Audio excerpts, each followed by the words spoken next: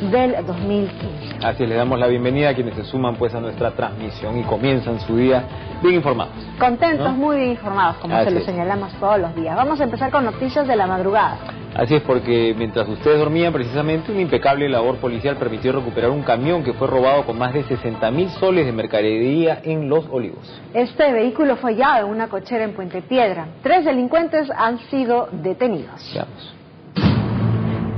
En tiempo récord, la policía recuperó más de 60 mil soles en mercadería robada en el distrito de Puente Piedra.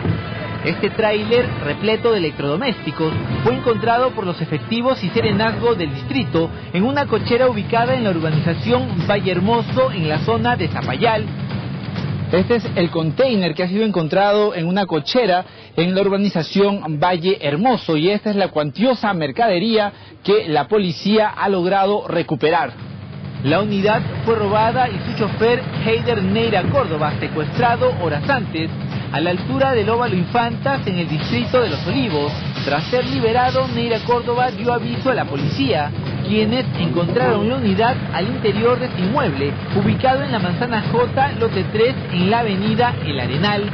Posteriormente, al tomar conocimiento de este robo, personal policial de la comunidad Zapayal realizó un operativo en todas las jurisdicciones y especialmente en esta jurisdicción, lo que es Valle Hermoso, en lo que es la manzana J3, eh, efectivamente encontramos acá cinco sujetos.